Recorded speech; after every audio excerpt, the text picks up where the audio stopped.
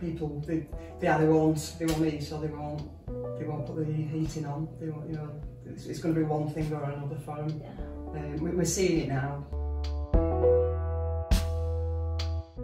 Getting new people every time that we open. We had 15 new on Monday, Right. and I think we've had about seven or eight new today, plus our regular people, and we just don't know how long we can continue doing this.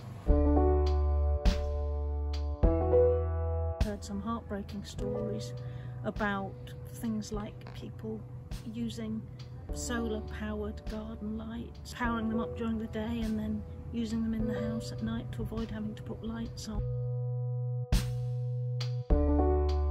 We've seen a rise in the people that are using the food bank, but we can't keep up with demand. Right. We're low on stock. People can't donate as they're struggling themselves. The shops are struggling to help people. It's just you can't keep up with the demand, and So- we don't know how we're going to continue.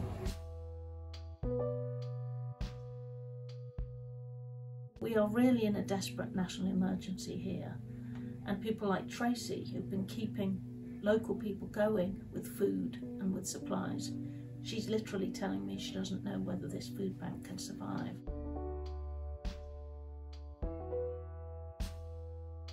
the utilities are pushing people to having to access food banks more because the money's going on the utilities rather than going on the food that they need. If it's a toss up between money and feeding the family or paying the rent, the money's going to go on on the family, it's going to go on, on, on the essentials as they see it. Is this young families or is it single people? It's a mixture of both. Is it Working, non-working, Right. families, older people. It's a mixture of everybody. so? It's um, and, and where do people go if you're not here?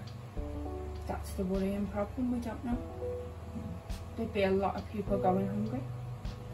There'd be a lot of people not being able to cope with everything.